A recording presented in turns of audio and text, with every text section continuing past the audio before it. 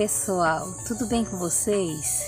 Estou hoje aqui para mais um vídeo e gostaria de convidar vocês a vir comigo. Hoje eu quero falar da grama, né? Da sua utilidade, dos inúmeros benefícios que tem, né?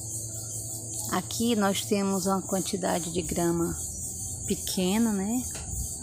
Ela, essa grama ela foi plantada de bloquinho não foi os tapetes, como vocês podem ver, né? ela está desenvolvendo, está se desenvolvendo aos poucos, né? Ela já foi podada e nisso que eu quero falar também que a podação dela é importante para manter ela bonita também, né? Além da rega e adubação. E que a poda que você faz da grama traz também um bom resultado. Olha, aqui é da grama que foi podada, como vocês podem ver, ela já tá uma grama murcha, né? Precisa secar mais, que aí ela vai servir para fazer uma cama morta, né? Nas plantas, como alface, como cenoura, é, qualquer tipo de, de, de hortaliça, né? A cebola que não gosta muito assim da, da cobertura. Na verdade não é que ela gosta, é porque traz mais é, inseto, fungo para a cebola, né? Mas quase toda planta gosta dessa cama. Principalmente no período quente, que é para proteger né, a, e reter mais a umidade. Pois é, eu vou mostrar para vocês e aqui eu vou falando, né? Porque a grama ela deixa um ambiente muito confortável, né? Lindo de se ver. Ela refresca mais o ar. A gente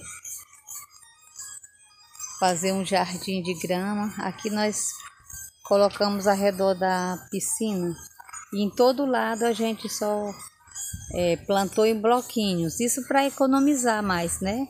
Para que depois ela venha se alastrar, né? Fofando a terra para plantar a grama.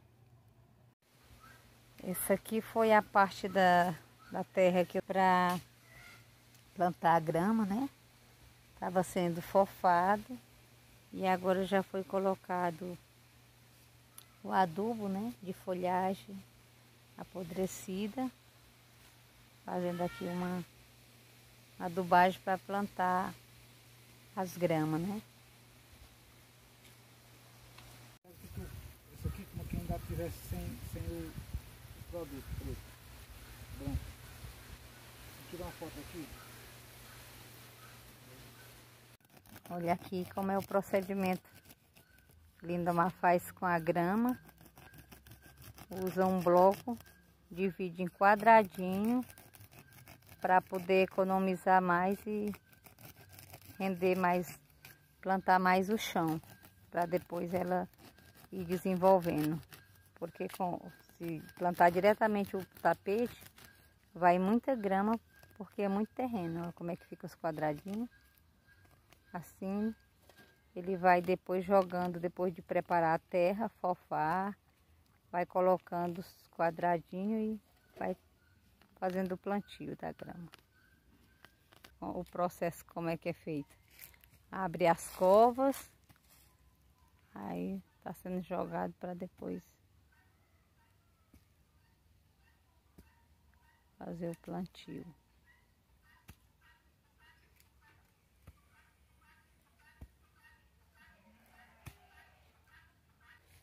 Através dos cubinhos.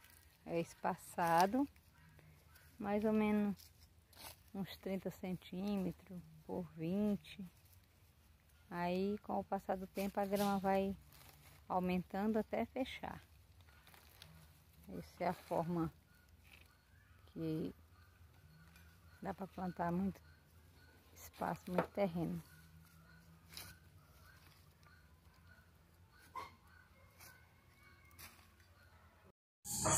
Olha, Aqui já fica do outro lado da piscina. Aqui também foi plantado, ó, em cubinhos. um distanciamento mais ou menos de 20 a 25 centímetros, porque essa daqui já está crescendo, né? Que está desenvolvendo. Daqui a um mês, mais ou menos, ou dois, eu vou estar mostrando para vocês de como ela vai estar, né? Essa daqui já é mais nova. Aqui como é que tá? Cheia de folha que cai daqui das árvores, pés de caju, ipê. Eu quero aqui encerrar o vídeo e quero dizer a vocês que possa estar curtindo esse vídeo, né? Assistindo até o final, convido vocês a assistirem, né? E ajude a gente aqui a crescer. Compartilhe, tá bom? Eu agradeço a cada um de vocês. Muito obrigada.